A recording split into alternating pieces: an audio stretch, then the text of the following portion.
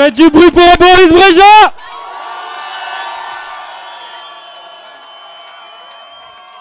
Oh là là là là là là, ça fait plaisir, vous êtes trop chaud ce soir. Alors on va passer à une interview de Boris Breja en coulisses. En attendant, Anne Clou reprend les platines et si vous êtes sage, je dis bien si vous êtes sage, Boris Breja reviendra mixer en B2B avec Anne Clou.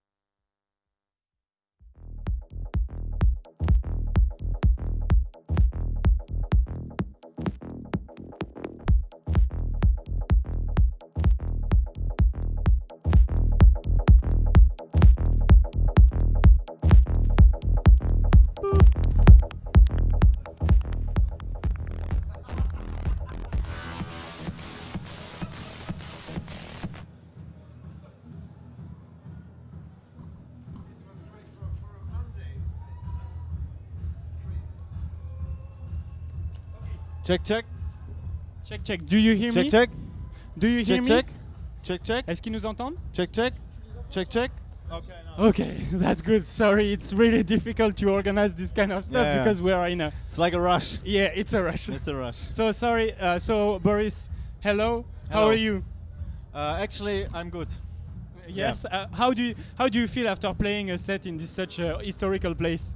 Uh, actually, I think it was really nice because this location is like just crazy, and to play here, I mean, you do it like one time in your life. Yeah, So the people were crazy, the location is crazy, so it's awesome. Awesome. Okay, great. So you created a label called the Fucking Serious or Fucking Serious? Fucking serious. Fucking Serious, Yeah. right?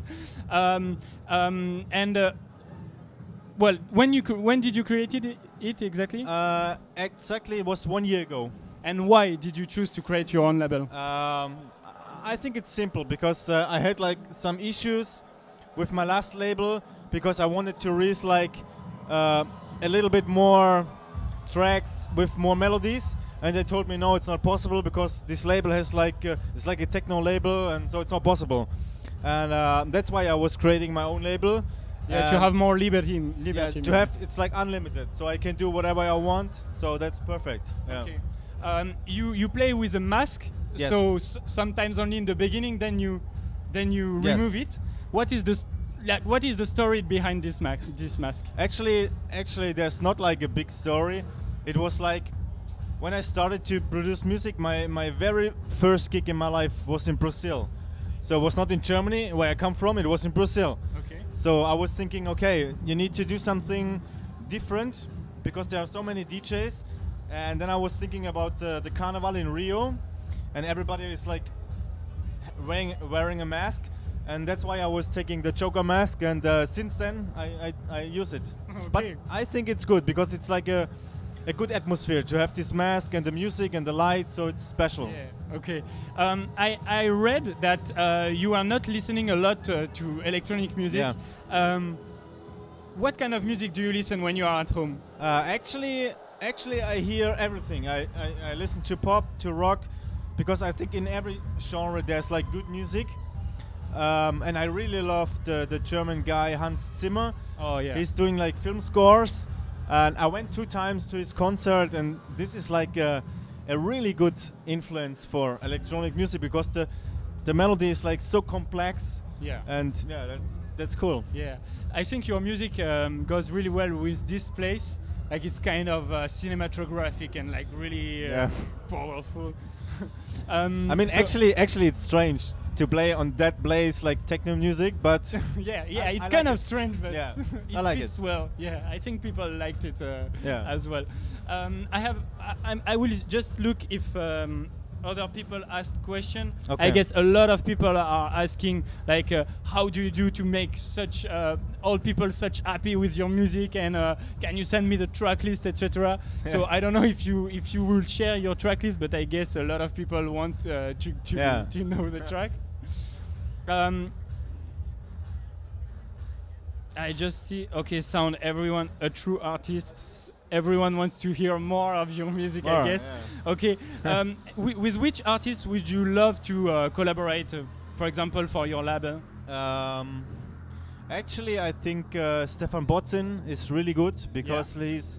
I met him. uh, I met him a few times, and he's like a super nice person, super nice producer. So. I think this would like a good choice to make like Boris Brejcha and Stephan Bodzin. Uh, I definitely agree. And would, do, are you making like uh, something together soon or? Actually, no, Okay. but you But never know. You yeah, never know. yeah, yeah. Okay, so if Stephan Bodzin hears us, maybe. uh, Yeah, maybe. Yeah. okay.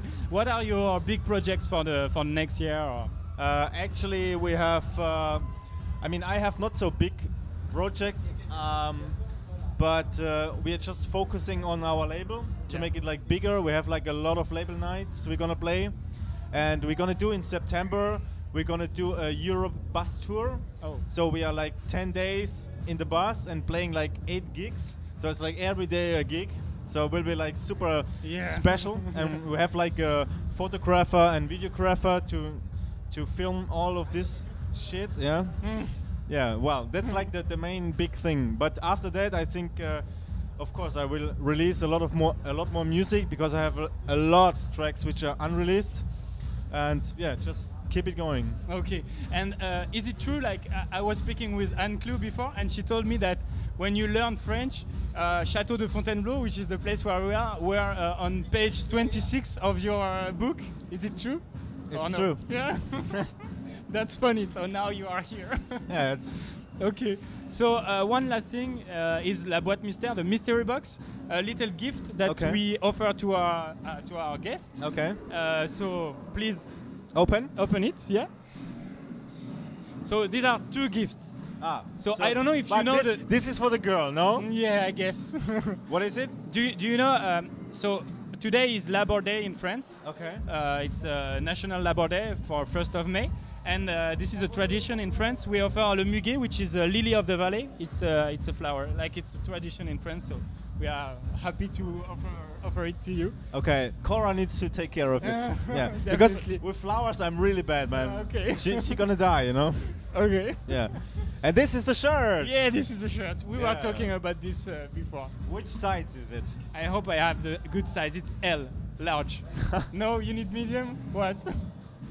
That's okay. That's okay. We I will mean- send you another one. no, that's okay. I mean, it's like a good uh, memory of this night. Okay. So and of you guys. So that's perfect. Okay, great. Well, Yeah. I'm really happy uh, to um, that, that you played tonight in this such amazing place. We are really happy that to, to have you tonight, and thank you very much, Boris. And um, we hope to see you soon. And um, I also wanted to to uh, thank all our partners, um, uh, which are Le Bonbon and Green Room, Trax Music, and FL Group. And I hope uh, I don't uh, forget any anyone. Thank you everybody. Et merci, a little message in French. In French, merci au château de Fontainebleau. Thank you to the castle Okay. because they they trusted us tonight. Yeah. Yeah. Uh, and as you said, it's not really common to have No. this kind of music, Yeah. techno music, and high tech minimal like this. Uh, so thank you very much for uh, to them for that, and uh, see you next Monday. Bye bye. Thank you. Bye bye.